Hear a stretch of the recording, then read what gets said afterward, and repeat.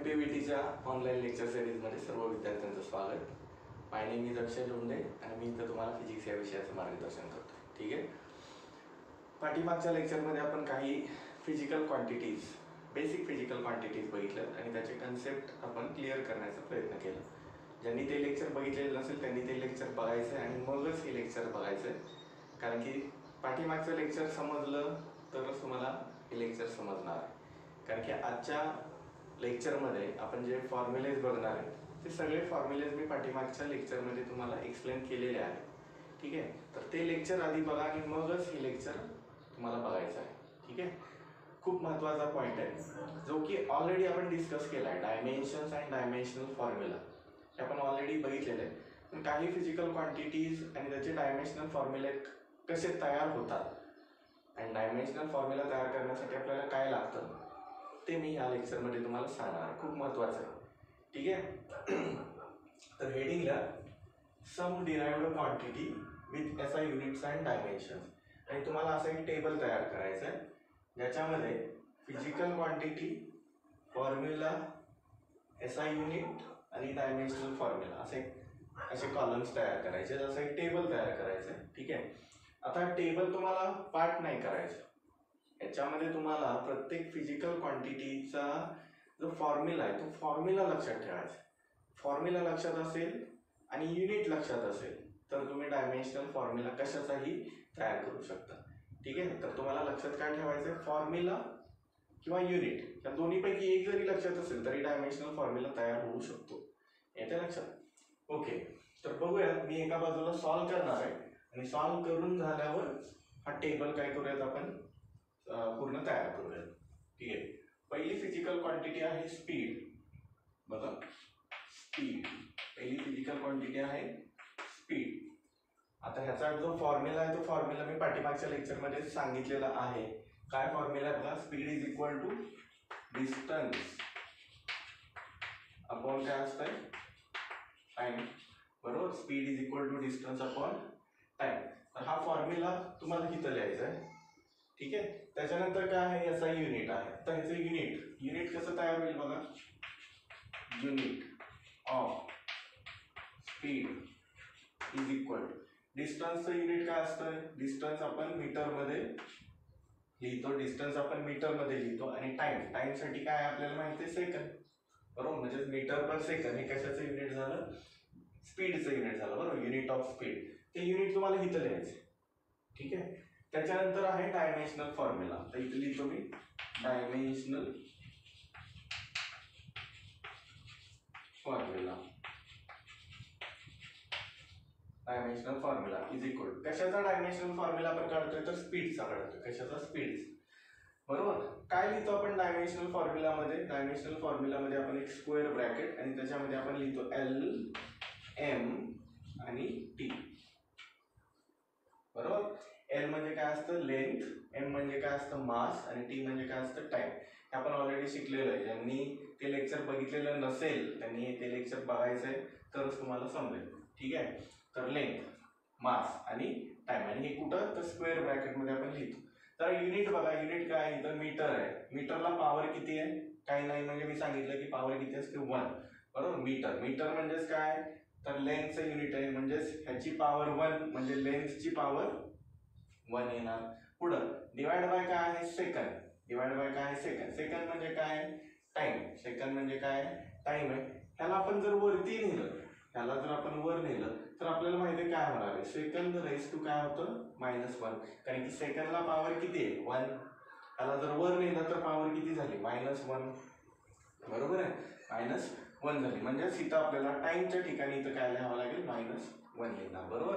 बघा मीटरची power one म्हणून लेन्थसाठी वन लिहिलं. सेकंडची पॉवर वन आहे पण ह्याला आपल्या नियमानुसार आपण काय करतो? ह्याला वरती नेतो आणि मग त्याची पॉवर कन्सिडर करतो. त्यामुळे ह्याला जर आपण वर नेलं तर याची पॉवर होईल मायनस वन आणि सेकंड म्हणजेच काय? टाईम टाईम आहे म्हणून इथं लिहिलं मायनस वन बरं मास ह्याच्यामध्ये कुठं दिसतंय का तुम्हाला? मास नाही दिसत. युनिटमध्ये तुम्हाला कुठं किलोग्राम दिसतंय का? नाही दिसत आहे. बरोबर? किंवा इथं फॉर्म्युलामध्ये तुम्हाला कुठं मास दिसतंय का नाही? म्हणजेच इथं आपल्याला मास ह्या टर्मची पॉवर किती लिहावी लागेल? झिरो लिहावी लागेल. काय लिहावे लागेल? झिरो लिहावी लागेल. बरोबर?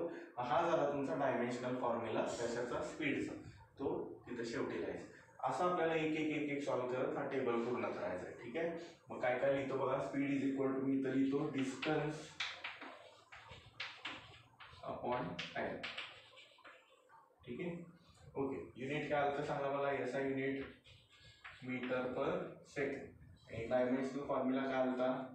L M T one zero minus one हा काय झाला डायमेन्शनल फॉर्म्युला ऑफ स्पीड आलं लक्षात बघा किती सोपं आहे ठीक आहे? तर असं एक एक एक एक आपण सॉल्व्ह करत जाऊया ओके पुढे बघूयात आता.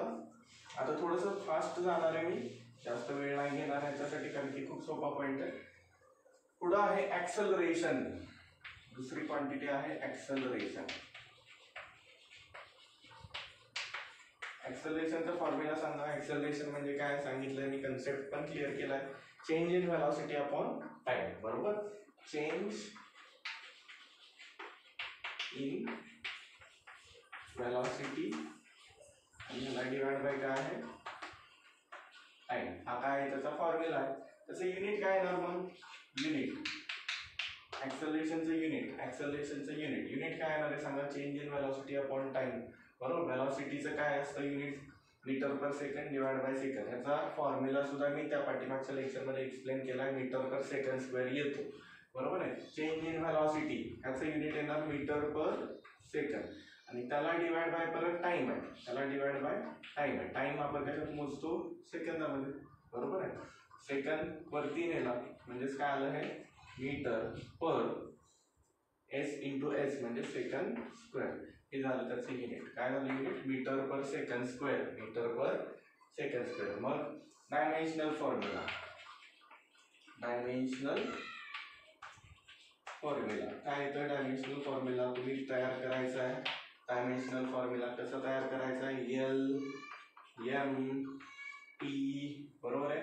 बघा एम म्हणजे काय? मीटर. मीटर म्हणजे काय? लेंथ लेंथची पॉवर किती येणार? वन पुढं S raise to two S म्हणजे सेकंद सेकंड रेस टू टू जर वरती नेलं तर काय होणार सांगा? सेकंद रेस टू मायनस टू बरोबर? लक्षात ठेवा. ज्यांना माहिती नसेल त्यांनी व्यवस्थित लक्षात ठेवा. ज्यावेळेस आपण एखादी डिनॉमिनेटरची टर्म वरती नेतो त्यावेळेला त्याचा जो इंडेक्स आहे त्याचा जो घातांक आहे त्याची जी पॉवर आहे ती निगेटिव्ह होते. बरोबर? इथं पॉझिटिव्ह आहे ना? प्लस टू आहे. त्याला वरती नेल्यानंतर मायनस टू होणार. म्हणजे second raise to minus two म्हणजे time raise to minus two म्हणजे इथं येणार मायनस टू बरोबर? आणि ह्या टर्ममध्ये सॉरी ह्या फॉर्म्युलामध्ये कुठं तुम्हाला मास दिसतंय का? मास किंवा युनिटमध्ये तुम्हाला कुठे किलोग्राम दिसतंय का? नाही दिसत आहे. बरोबर आहे? म्हणजे इथं आपल्याला काय लिहावं लागेल? झिरो लिहावं लागेल. मास काहीच नाही आहे म्हणून इथं झिरो लिहिल हा झाला आपला डायमेन्शनल फॉर्म्युला कशाचा? ॲक्सेलरेशनचा आता तुमच्या लक्षात येत असेल की डायमेन्शनल फॉर्म्युला तयार करण्यासाठी आपल्याला युनिट माहिती असणं खूप गरजेचं आहे. मग काय लक्षात ठेवा की फिजिक्समध्ये ज्या ज्या फिजिकल क्वांटिटी तुम्ही शिकताय त्याचा फॉर्म्युला व्यवस्थित लक्षात ठेवण्याचा प्रयत्न करा. ठीक आहे? ओके मग आता इथं लिहूयात आपण ॲक्सलरेशन फॉर्म्युला काय चेंज इन व्हेलॉसिटी इथं जरा जागा कमी पडते. चेंज इन व्हेलॉसिटी अपॉन काय लिहिलं मी? टाइम बरोबर? हा त्याचा फॉर्म्युला आहे. बरोबर. युनिट काय आलं आहे metre per second square metre per second square आणि त्याचा डायमेन्शनल फॉर्म्युला मला सांगा. एल एम टी काय येणार आहे? L raise to one M raise to zero T raise to minus two बरोबर? L raise to one M raise to zero T raise to minus हे कशाचं झालं? एक्सेलरेशन येते का लक्षात? सोपं आहे. आता पुढचं. नेक्स्ट पुढं काय नेक्स्ट फ़िज़िकल क्वांटिटी आहे फोर्स फोर्स म्हणजे शिकलो आहे. फोर्स मी तुम्हाला सांगितलंय. फोर्स काय असतं? प्रेशर म्हणजे काय असतं? हे क्वांटिटी आहे. फोर्स फोर्स कसं आपण? Force force is equal to mass into acceleration बरोबर? Force is equal to mass into काय आहे? ॲक्सेलरेशन बरोबर? हा त्याचा फॉर्म्युला आहे unit unit of force unit of force कसं काढतो आपण? कसं काढणार याचं युनिट फोर्सचं युनिट कसं काढणार? मासचं युनिट का असतं? किलोग्रॅम मासचं युनिट का असतं? किलोग्रॅम आणि ॲक्सलरेशनचं युनिट आताच आपण बघितलं. ॲक्सलरेशनचं unit metre per second square असतं. म्हणजेच मासचं युनिट मल्टिप्लाय बाय ऍक्सलरेशनचं युनिट म्हणजेच काय? Metre per second square metre per second square म्हणजे काय युनिट तयार झालं बघा फोर्सचं kilogram metre per second square काय तयार झालं हे? Kilogram metre per second square असं युनिट तयार झालंय ह्या युनिटलाच आपण न्यूटन असं म्हणतो. यालाच आपण काय म्हणतो? न्यूटन म्हणतो. काय लक्षात ठेवा. न्यूटन म्हणजे kilogram metre per second square आहे काय? Kilogram metre per second square ठीक आहे? म्हणजे फोर्सचं युनिट काय आलं? न्यूटन आलं. ठीक आहे? मग इथं फॉर्म्युलामध्ये लिहितो मी force is equal to mass into काय आहे? ऍक्सेलरेशन ठीक आहे? Force is equal to mass into acceleration आणि युनिट याचा युनिट काय आहे त्याचं? न्यूटन याचा युनिट काय आहे त्याचं? न्यूटन आहे. ठीक आहे? ओके आता ह्याचा डायमेन्शनल फॉर्म्युला डायमेन्शनल फॉर्म्युला बघा डायमेन्शनल फॉर्म्युला कसा तयार करायचा? डायमेन्शनल फॉर्म्युला तयार करण्यासाठी आपल्याला फक्त काय लागणार आहे? युनिट माहिती असायला पाहिजे. ठीक आहे. युनिट आता न्यूटन वरून तुम्हाला डायमेन्शनल फॉर्म्युला नाही लिहिता येणार ह्याच्यावरून. हे लक्षात ठेवलं तर तुम्हाला फॉर्म्युला लिहिता येईल. ठीक आहे? मग डायमेन्शनल फॉर्म्युला कसं तयार होते बघा? एल एम आणि टी ठीक आहे? ओके बघा इथं काय आहे? पहिली टर्म आहे किलोग्रॅम. किलोग्रॅम म्हणजे मास. किलोग्राम किती वेळा आलेलं आहे? एकदा आलेलं आहे. याची पॉवर किती आहे? एक आहे. म्हणजेच इथं लिहिणार मी मासच्या डोक्यावर वन. ठीक आहे. हे काय मीटर? मीटर म्हणजेच काय? लेंथ किती वेळा आहे? मीटरची पॉवर किती आहे? एक. म्हणजेच इथं लेंथच्या पॉवरच्या लेंथच्या डोक्यावरती एक लिहिलं पुढं आहे सेकंड रेस टू टू डिनॉमिनेटरला आहे डिनॉमिनेटरला असलं की लक्षात ठेवायचं त्याला कुठं घ्यायचं आहे न्युमरेटरला आणायचं आहे पॉवर त्याची निगेटिव्ह होणार बरोबर? Second raise to minus two होणार. वरती नेल्यानंतर second raise to minus two म्हणजे सेकंड काय आहे? टाइम म्हणजे time raise to minus two होईल. हा झाला फोर्सचा डायमेन्शन हे झालं फोर्सचं डायमेन्शन एल एम टीची पॉवर मायनस टू आता मी इथे तुम्हाला सांगेल की फोर्सचं डायमेन्शन तुम्ही लक्षात ठेवा. फोर्सचं डायमेन्शन तुम्ही लक्षात ठेवा. बऱ्याच ठिकाणी लागणार आहे आपल्याला. म्हणून लक्षात ठेवा. ठीक आहे? फोर्स सर डायमेन्शन काय? एल एम टीची power minus two L M टीची पॉवर मायनस टू असं लक्षात ठेवलं तरी सुद्धा चालेल. ठीक आहे? मग इथे लिहा. L M T L M टीची power minus two L M एक एक आणि पॉवर टीची मायनस टू एल एम टीची पॉवर मायनस टू ठीक आहे? बघा किती सोपं आहे. खूप इझी आहे पॉईंट हा. ठीक आहे? पुढं. पुढची क्वांटिटी कोणती आहे? प्रेशर प्रेशर म्हणजे काय सांगितलंय मी तुम्हाला. एक्झाम्पल पण दिलं होतं. ठीक आहे? ज्यांनी पाठीमागचं लेक्चर बघितलेलं नसेल ज्यांना असं वाटत असेल की मला ते सगळं येत आहे तरी सुद्धा बघा ते. ठीक आहे? कारण की त्याच्यामध्ये खूप एक्झाम्पल सांगितले मी. पुढची क्वांटिटी आहे चौथी प्रेशर प्रेशर फॉर्म्युला काय प्रेशरचा फोर्स अपॉन एरिया फॉर्म्युला काय आहे त्याचा? Force upon area pressure is equal to force upon area unit unit unit unit कशाचं युनिट काढायचं आपल्याला? प्रेशर फोर्सचं युनिट काय होतं? न्यूटन न्यूटन म्हणजेच काय? Kilogram metre per second square आणि एरिया एरिया कशामध्ये असणार आहे? मीटर स्क्वेअरमध्ये असणार आहे. कशामध्ये असणार आहे? मीटर स्क्वेअर म्हणजेच काय येणार आहे बघा बरं फोर्सचं युनिट लिहितो. Kilogram metre per second square आणि ह्या सगळ्याला डिवाइड बाय एरिया काय आहे? मीटर स्क्वेअर मीटर स्क्वेअर ह्या मीटर स्क्वेअरला आपण परत इथं नेतो. बरोबर? इथं जाणार तो म्हणजेच काय सांगा बरं मला? Kilogram metre divide by second square आणि परत याला वरती नेल्यानंतर हे झालं मीटर स्क्वेअर एक मीटर आणि इथला एक मीटर कॅन्सल होईल. हा मीटर आणि इथला एक मीटर कॅन्सल झाला. म्हणजेच काय युनिट आलं बघा? Kilogram divide by metre second square metre second square. कळालं का? युनिट कसं तयार झालं बघा. Pressure is equal to force upon काय आहे? Area फोर्सचं unit kilogram metre per second square एरियाचं unit metre square बरोबर आहे? एक मीटर आणि इथला एक मीटर स्क्वेअर मधला एक मीटर कॅन्सल झाला. बरोबर? म्हणजे काय उरलं? न्यूमरेटरला किलोग्रॅम. आणि डिनॉम डिनॉमिनेटरला काय उरलं एक मीटर आणि एक सेकंड स्क्वेअर बरोबर? माझा डायमेन्शनल फॉर्म्युला डायमेन्शनल फॉर्म्युला कसं तयार होईल. बघा dimensional formula L M T ठीक आहे? ओके. सांगा बरं मला.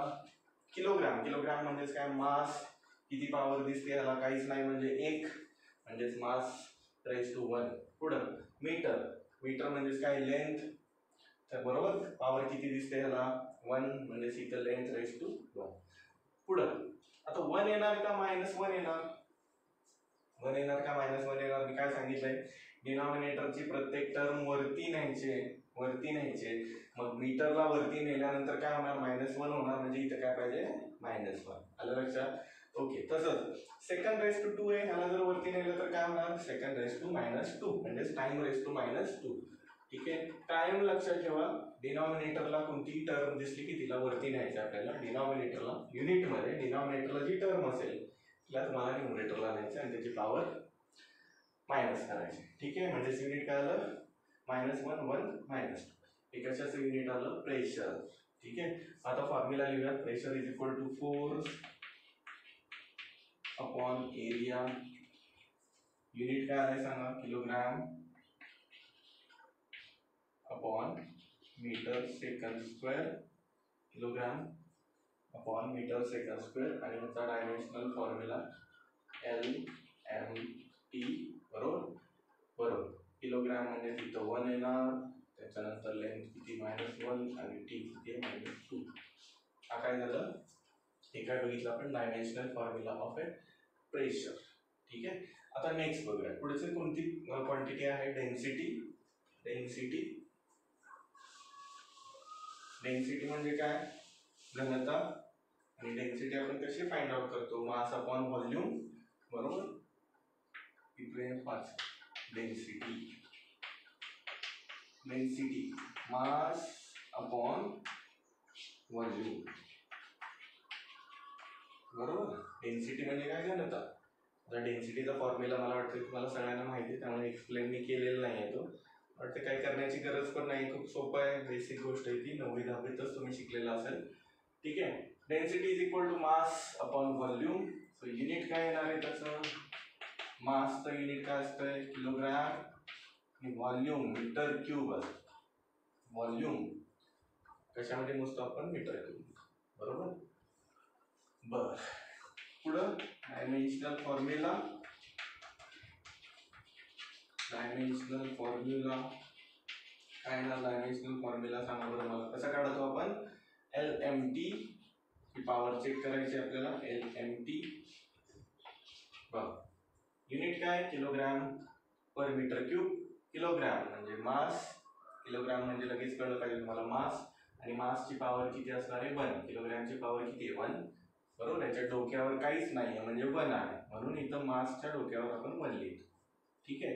पुढं डिनॉमिनेटरला मीटर क्यूब आहे. मला मी काय सांगितलं? डिनॉमिनेटरची प्रत्येक टर्म युनिटमध्ये न्यूमरेटरला घ्यायची ठीक आहे?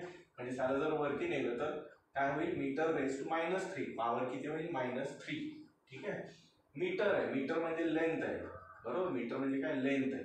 त्याला वरती नेलं तर काय होणार आहे? पॉवर मायनस थ्री म्हणजे होईल मायनस थ्री ठीक आहे. त्या पूर्ण टर्ममध्ये त्या युनिटमध्ये तुम्हाला टाइम दिसतोय का कुठं नाही दिसत? म्हणून इथं काय लिहावं लागेल? टाइमच्या डोक्यावरती झिरो लिहू.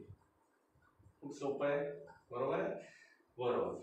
ठीक आहे. डेन्सिटी बघा. Density is equal to mass upon volume ठीक आहे? फॉर्म्युला झाला. युनिट सांगा. किलोग्रॅम पर मीटर क्यूब आणि त्याचे युनिट त्याचे युनिट एल एम टी बरोबर? लेंथ किती आहे? मायनस थ्री मायनस थ्री बरोबर?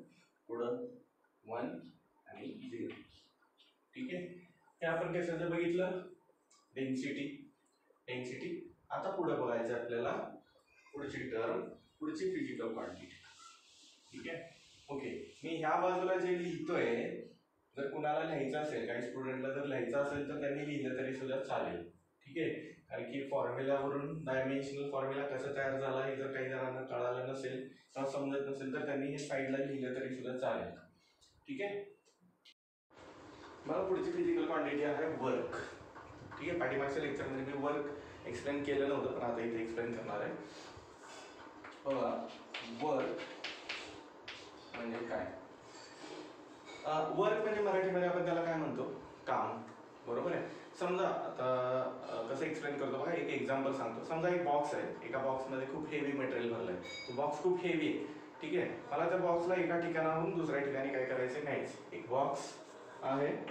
त्या बॉक्सला मला ह्या पोझिशनपासून ह्या पोझिशनला न्यायचं ठीक आहे? मला काय करावं लागेल? त्याच्यावरती फोर्स लावावा लागेल. ठीक आहे? मी त्याच्यावरती फोर्स लावला. बरोबर? फोर्स लावला. फोर्स लावल्यावरती काय होईल? तो बॉक्स एका ठिकाणाहून दुसऱ्या ठिकाणी जाईल. म्हणजे त्याचं काय झालं? डिस्प्लेसमेंट झालं. त्याचं काय झालं? डिस्प्लेसमेंट झालं. ऑब्वियस आहे. बरोबर? एखाद्या गोष्टीवरती आपण फोर्स लावला. एखाद्या ऑब्जेक्टवर आपण जर फोर्स लावला तर ऑब्विसली काय होतं? त्या ऑब्जेक्टचं काय होतं? डिस्प्लेसमेंट होतं. बरोबर? म्हणजे फोर्स लावल्यानंतर ह्याचं काय झालं? डिस्प्लेसमेंट झालं. बरोबर? Force into displacement force into displacement ह्यालाच आपण काय म्हणतो? वर्क असं म्हणतो. बरोबर? काम पूर्ण झालं ना? इथून इथपर्यंत बॉक्स नेला म्हणजे काय झालं? म्हणजेच काय झालं तर काम झालं म्हणजेच काय झालं वर्क झालं. हे कसं काढतो आपण? तर अप्लाय केलेला फोर्स आणि त्याचं झालेलं डिस्प्लेसमेंट फोर्स इंटू डिस्प्लेसमेंट ह्याला आपण वर्क असं म्हणतो. ओके तर इथं लिहिलं work is equal to force into displacement ठीक आहे? फोर्स इंटू काय आहे डिस्प्लेसमेंट ठीक आहे. आता याचं युनिट बघूयात आपण. युनिट मला सांगा फोर्सचं युनिट काय? आहे फोर्सचं युनिट काय? आहे न्यूटन न्यूटन आणि डिस्प्लेसमेंट डिस्प्लेसमेंट म्हणजेच काय? डिस्टन्सच आहे थोडक्यात. मग डिस्टन्सचं युनिट काय असणार आहे तर मीटर न्यूटन मीटर हे युनिट आहे वर्कचं त्यालाच आपण जूल असं म्हणतो. त्यालाच आपण काय म्हणतो? जूल ठीक आहे? मग इथं लिहितो मी. जूल काय लक्षात? बघा न्यूटन मीटर म्हणजेच थोडक्यात काय आहे तर?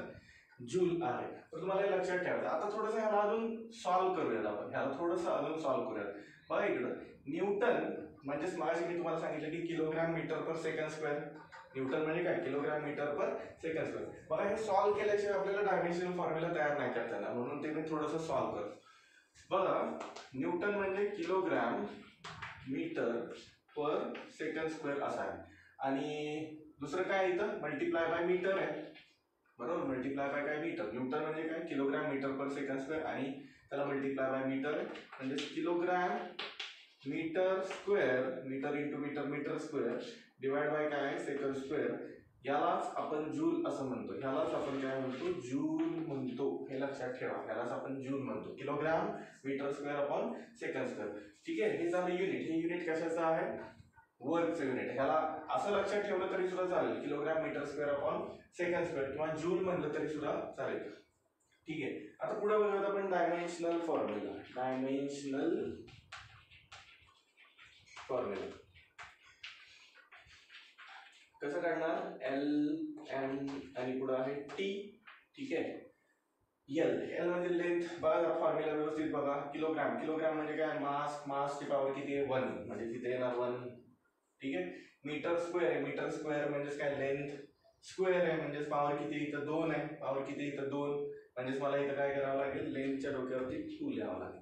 ठीक आहे? आणि पुढे सेकंड स्क्वेअर हे डिनॉमिनेटर आहे. याला वरती न्या वरती नेल्यानंतर याची पॉवर किती होईल? मायनस टू होईल. सेकंडची पॉवर मायनस टू म्हणजे टाइमची पॉवर मायनस टू ठीक आहे? हा झाला तुमचा डायमेन्शनल फॉर्म्युला ऑफ वर्क ठीक आहे? डायमेन्शनल फॉर्म्युला ऑफ वर्क ठीक आहे? हे सगळं परत आपण तिकडे लिहूयात. थोडंसं स्पीडमध्ये घेतो. की आता मला वाटतं तुम्हाला लक्षात आलेलं असेल. ठीक आहे? वर्क काय formula work is equal to force into displacement बरोबर? ओके फॉर्म्युला ह्याचा एस आय युनिट फॉर्म्युला जरी त्याचा फोर्स इंटू डिस्प्लेसमेंट आणि त्याचं जे युनिट आपल्याला मिळा मिळाले kilogram metre square upon second square ह्याला आपण जूल म्हणतोय. त्यामुळे याचा एस आय युनिट आपल्याला जूल असंच लिहायचं आहे. कॅपिटल जे किंवा स्मॉल लेटरमध्ये जर लिहिलं तर जूल असं लिहावं लागेल. ठीक आहे. फॉर्म्युला काय आलं सांगा बरं मला? L M T. काय काय आलं बघा? लेंथ टू मास वन आणि मायनस टू ठीक आहे? इट्स अबाउट वर्क हे आपण कशाचं बघितलं? वर्क आलं लक्षात? वर्क म्हणजे काय? वर्क म्हणजे फोर्स इंटू डिस्प्लेसमेंट एखाद्या ऑब्जेक्टवर लावलेला फोर्स आणि त्याचं झालेलं डिस्प्लेसमेंट यांचं मल्टिप्लिकेशन म्हणजे काय आहे? तर वर्क आहे. ठीक आहे? पुढची क्वांटिटी कोणती आहे बघा? वर्क नंतर आहे एनर्जी वर्क नंतर काय आहे? एनर्जी आता इथं मगाचंच एक्झाम्पल आपल्याला युजफुल आहे. बघा एनर्जी म्हणजे काय? मगाच्या एक्झाम्पलमध्ये मी काय केलं? एक बॉक्स घेतला होता. त्या बॉक्सला काय केलं मी? ढकललं. आणि एका ठिकाणावरून दुसऱ्या ठिकाणी नेलं. मग हे काम करण्यासाठी हे वर्क करण्यासाठी मला एनर्जी तर लागेल. बरोबर आहे? माझ्यात एनर्जी असेल तरच मी काय करू शकतो त्याला? फोर्स लावून एका ठिकाणाहून दुसऱ्या ठिकाणी नेऊ शकतो. बरोबर आहे? मगाच्याच एक्सप्ले एक्झाम्पलवरून मी तुम्हाला एक्सप्लेन करतोय की एक बॉक्स त्या बॉक्सला मी काय केला? फोर्स लावला आणि इथून त्याला इथं नेलं.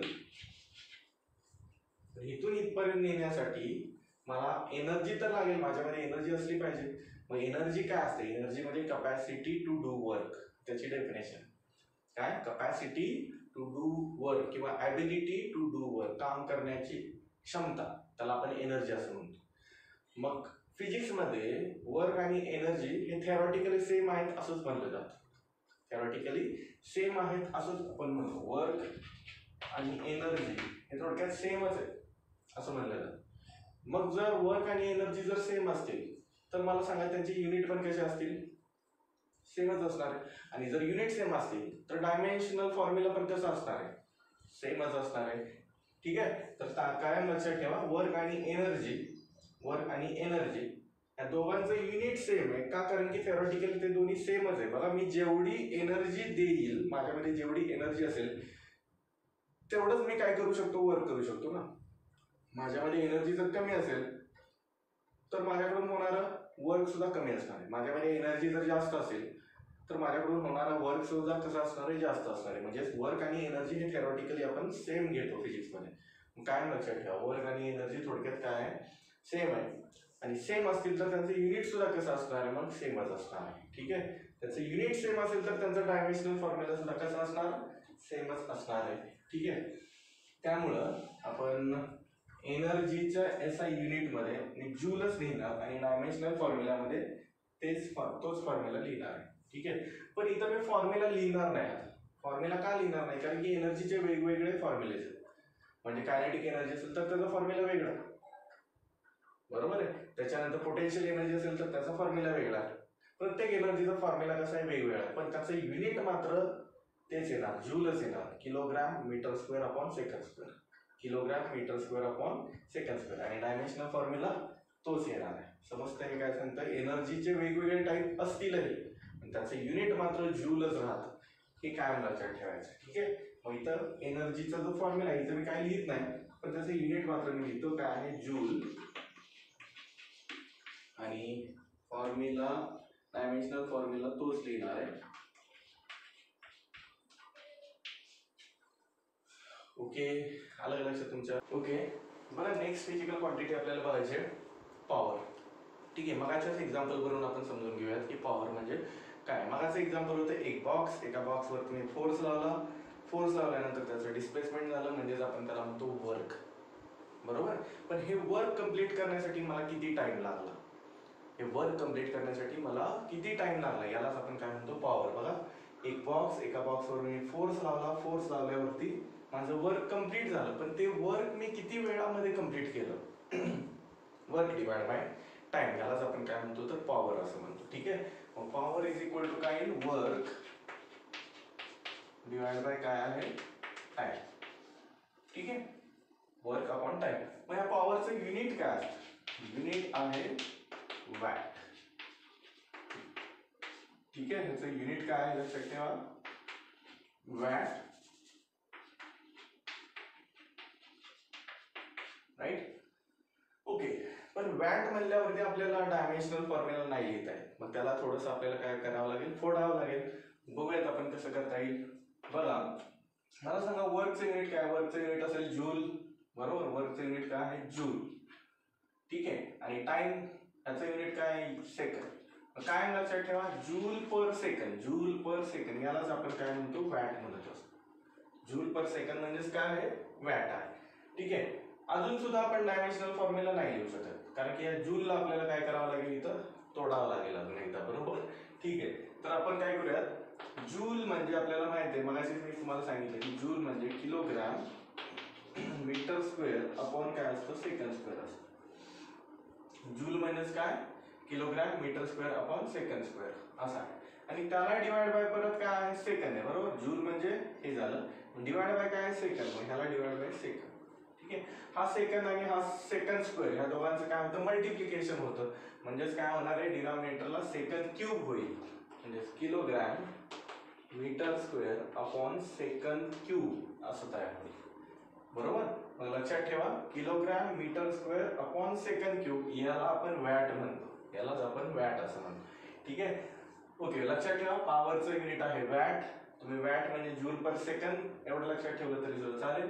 पण जूल म्हणजे काय मात्र तुम्हाला तुमच्या डोक्यामध्ये असलं पाहिजे. Kilogram metre square upon second square. तर तुम्ही हे सिम्प्लिफाय करू शकता. सिम्प्लिफाय केलं तरच तुम्हाला डायमेन्शनल फॉर्म्युला लिहिता येईल. ठीक आहे? मग डायमेन्शनल फॉर्म्युला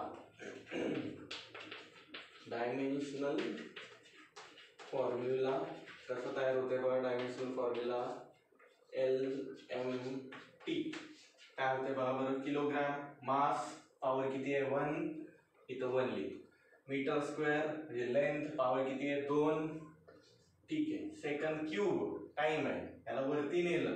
पॉवर किती होणार? मायनस थ्री म्हणजे तिथे येईल मायनस हे झालं डायमेन्शनल फॉर्म्युला. कुणाचा? पॉवरचा ठीक आहे सोपं आहे बघा, तुम्हाला युनिट माहिती असतील, तरच तुम्ही काय करू शकता? डायमेन्शनल फॉर्म्युला लिहू शकताय. ठीक आहे पॉवर पॉवरसाठी काय आलं तर बघा? फॉर्म्युला होता? Power is equal to work upon time लिहितो मी वर्क अपॉन टाइम आहे. त्याच्यानंतर युनिट काय आहे?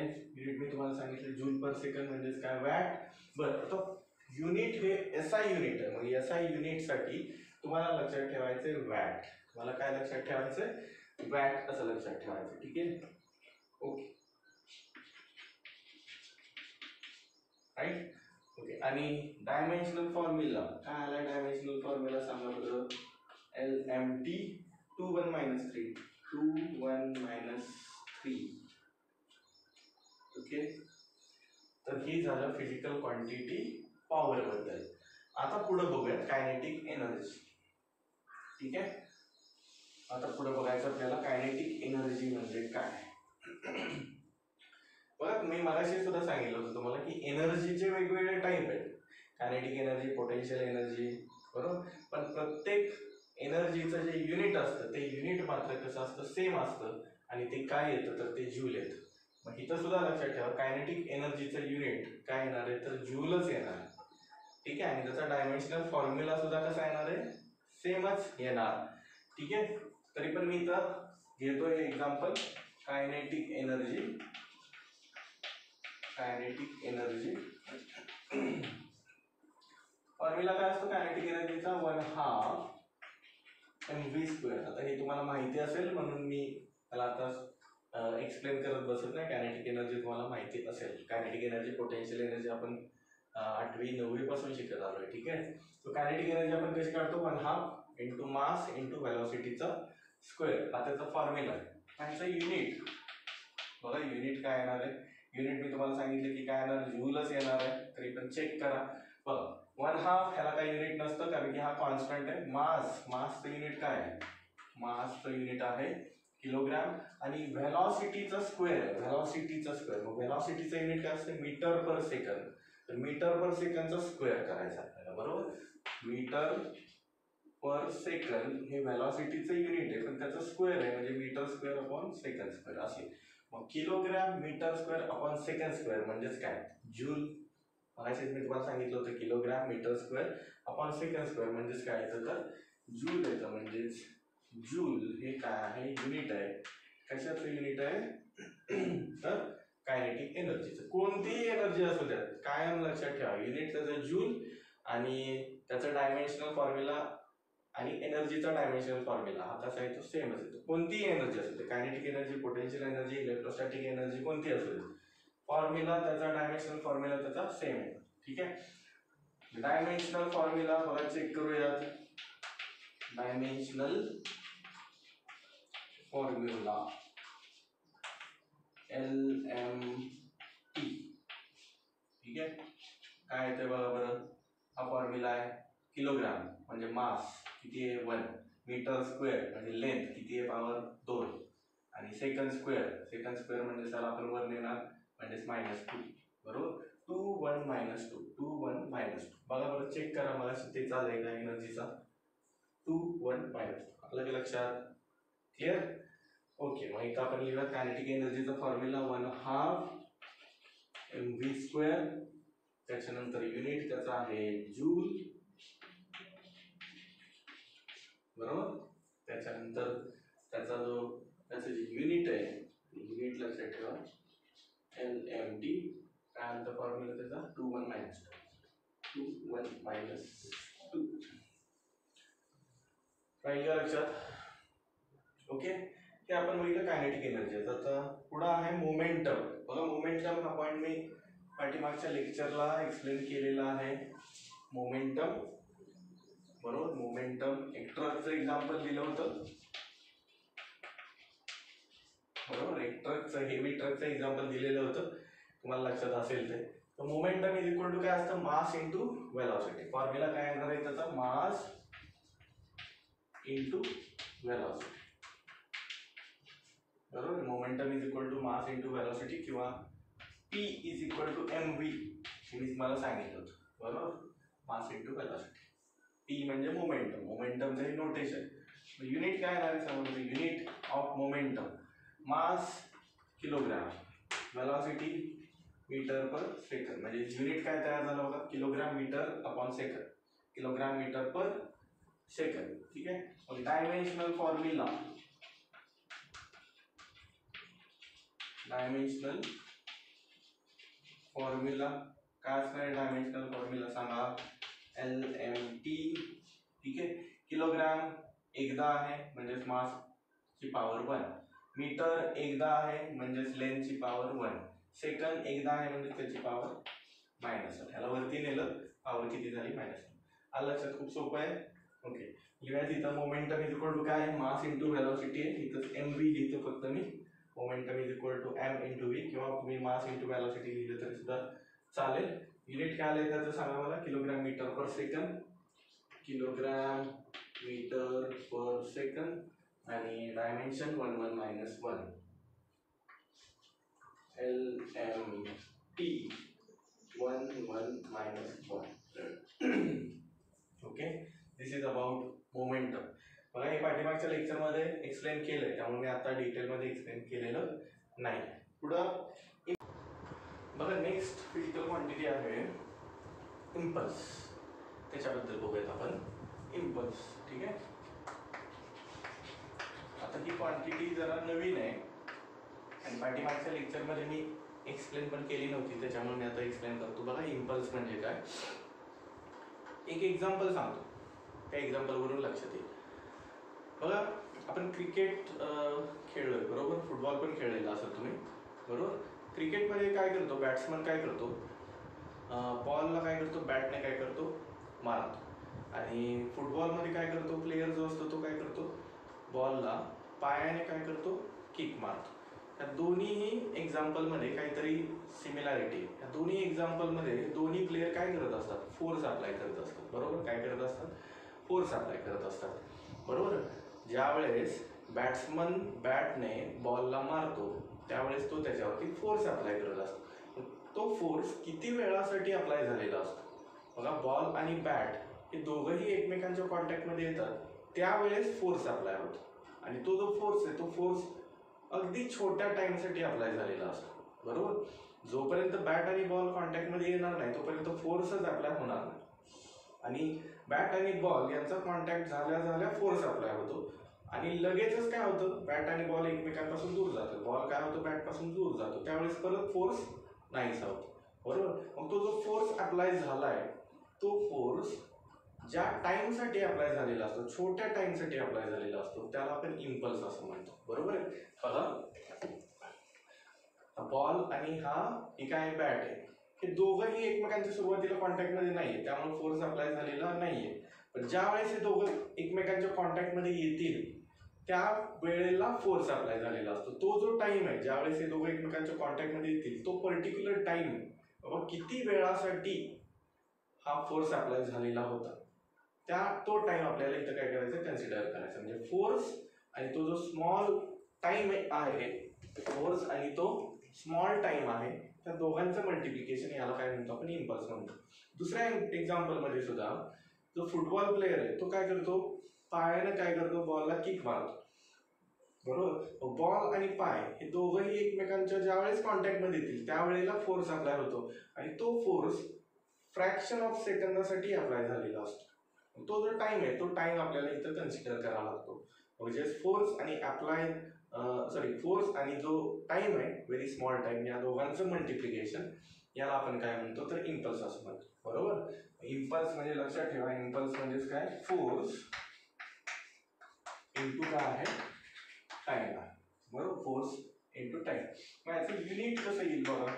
युनिट फोर्सचं युनिट आहे न्यूटन आणि टाइम म्हणजेच काय आहे? सेकंड न्यूटन सेकंड हे काय झालं? त्याचं एस आय युनिट आहे. कशाचं? इम्पल्स ठीक आहे.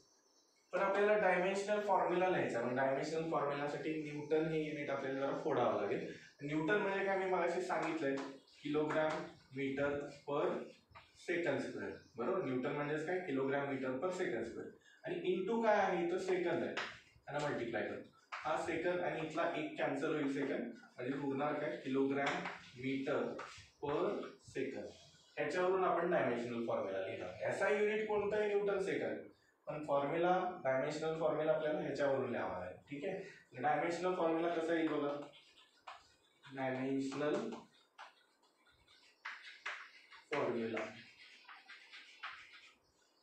ठीक आहे कसं येईल बघा L M T. L M T. बघा इकडं. अं, म्हणजेच काय मास आहे? पावर किती आहे? वन मीटर म्हणजेच काय लेंथ आहे? पावर किती आहे? वन आणि सेकंड म्हणजे टाइम आहे. पॉवर किती आहे? वन पण ह्याला वरती नेल्यानंतर काय होणार आहे? मायनस वन होणार आहे. बरोबर? म्हणजे डायमेन्शनल फॉर्म्युला काय आला बघा? वन वन मायनस वन बरोबर? तर हे झालं इम्पल्सच्या बाबतीत. आलं लक्षात? इम्पल्स म्हणजे काय? व्यवस्थित कन्सेप्ट लक्षात ठेवा. बघा लिहिलं मग आपण. फॉर्म्युला काय फॉर्म्युला फोर्स इंटू टाइम म्हणजेच मी एफ़ इंटू टी लिहितो. एफ़ इंटू टी ठीक आहे? इथं इथं पण तुम्ही लिहू फोर्स एफ़ आणि टाइम टी आहे. एफ़ इंटू टी ठीक आहे? ओके युनिट काय आहे? त्याचं युनिट आहे न्यूटन लिहा न्यूटन सेकंद ठीक आहे? आणि डायमेन्शनल फॉर्म्युला काय आहे बघा? Dimension formula L M T one one minus one L M T one one minus one आता इथं व्यवस्थित बघा. इम्पल्स आणि मोमेंटम मोमेंटमचं युनिट काय आहे? किलोग्रॅम मीटर पर सेकंड आहे आणि इम्पल्सचं याचं युनिट काय आहे? न्यूटन सेकंड म्हणजेच काय? किलोग्रॅम मीटर पर सेकंड बघा व्यवस्थित. इम्पल्सचं युनिट काय? आहे किलोग्रॅम मीटर पर सेकंड आणि मोमेंटमचं युनिट काय? Kilogram kilogram metre per second unit same जर युनिट सेम असेल तर मी काय सांगितलं? डायमेन्शनल फॉर्म्युला कसा असतो? सेम असतो. मग बघा बरं डायमेन्शनल फॉर्म्युला दोघांचा. One one minus one one one minus one म्हणजे सेम फक्त इथं एस आय युनिट जे आहे ते S I unit newton second आहे. बरोबर? पण त्या एस आय युनिटला जर आपण फोडलं तर आपल्याला किलोग्रॅम मीटर पर सेकंदच मिळणार आहे इम्पल्समध्ये ठीक आहे? त्यामुळे डायमेन्शनल फॉर्म्युला सेम आला मगाशी पण मी तुम्हाला सांगितलं होतं कुठं? एनर्जी आणि वर्कमध्ये वर्कचा युनिट काय बघा जूल आणि एनर्जीचं युनिट काय? जून जूल डायमेन्शनल फॉर्म्युला कसा आला? सेम आला. आलं लक्षात? तर हे झालं इम्पल्सच्या बाबतीत. ओके बघा नेक्स्ट फिजिकल क्वांटिटी कोणती आहे? चार्ज ठीक आहे नेक्स्ट फिजिकल क्वांटिटी आहे चार्ज आता हा पॉईंट मात्र मी ज्यावेळेस करंट इलेक्ट्रिसिटी हा चॅप्टर घेईन त्यावेळेला सांगेन. ठीक आहे? कारण की थोडंसं इथं इमॅजिन करण्याची गोष्ट आहे की चार्ज काय असतो कसा फ्लो होतो. बरोबर आहे? थोडंसं बेसिक गोष्टी आहेत. ह्या ह्या जर सांगत बसलो तर लेक्चर खूपच मोठं होईल ठीक आहे? म्हणून इथं सांगत बसत नाही. ठीक आहे चार्ज म्हणजे काय असतं? तर चार्ज म्हणजे करंट इंटू टाइम असतो. आता पुरतं तुम्ही फक्त फॉर्म्युला लक्षात ठेवा. ज्यावेळेस हा चॅप्टर चालू करू त्यावेळेस मी डिटेलमध्ये सांगेन. Charge is equal to current into time आहे ठीक आहे? ओके मग ह्याचं जे युनिट आहे युनिट चार्जचं युनिट असतं कुलोम चार्ज आपण कुलोममध्ये काय करतो? मेजर करतो. ठीक आहे? हे त्याचं याचा युनिट आहे. ठीक आहे? सी ठीक आहे? आता त्याचा डायमेन्शनल फॉर्म्युला काढायचा आहे. डायमेन्शनल फॉर्म्युला पण डायमेन्शनल फॉर्म्युलासाठी आपल्याला कुलोमला काय करावं लागेल? थोडंसं फोडावं लागेल. जरा इथं मी काय लिहिले बघा? करंट लिहिलाय. करंट आपल्याला माहिती आहे आपण अँपियरमध्ये मोजतो. बरोबर? अँपियर आणि टाइम आपल्याला माहिती आहे की आपण टाइम कशामध्ये मोजतो? सेकंदामध्ये. Ampere second. बरोबर? Ampere second. हे कशाचं युनिट झालं? तर चार्जचं युनिट झालं. मग ह्याच्यावरून आपण काय करू शकतो? डायमेन्शनल फॉर्म्युला लिहू शकतो. डायमेन्शनल फॉर्म्युला कसा तयार होतोय बघा? L M T. आता एक नवीन क्वांटिटी इथं आपल्याला ऍड करावी लागेल. ती क्वांटिटी कोणती आहे? तर करंट आहे. मग करंटसाठी सिम्बॉल कोणता होता? कॅपिटल आय ते मी काय करतो? इथं ऍड करतो. कळालं का? मी आय इथं का लिहिला? कारण की चार्ज ह्या फिजिकल क्वांटिटीमध्ये करंट ही फिजिकल क्वांटिटी येते करंट मग करंटसाठी आपण नोटेशन किंवा सिम्बॉल बघितला. मी सांगितलंय तुम्हाला करंटसाठी आपण काय यूज करतो? आय म्हणून आय लिहिला. ठीक आहे? ओके लेंथ आहे का बघा बरं फॉर्म्युलामध्ये किंवा युनिटमध्ये कुठं? लेंथ दिसते का नाही? म्हणून झिरो मास कुठं दिसतोय का? नाही दिसत म्हणून झिरो टाइम कुठं दिसतोय का? दिसतोय. किती आहे टाइम एक दिसते त्याची पावर बरोबर? सेकंड रेस टू वन आहे. म्हणून इथं वन आणि करंट म्हणजेच अँपियर बरोबर? याची पॉवर किती आहे? वन म्हणून इथं येणार वन ठीक आहे? हा झाला डायमेन्शनल फॉर्म्युला कशासाठी? चार्जसाठी. मग इथं चार्जसाठी शेवटी लिहितो मी करंट इंटू टाइम बरोबर? Charge is equal to current into time आणि त्याचं जे युनिट आहे ते युनिट आहे कुलोम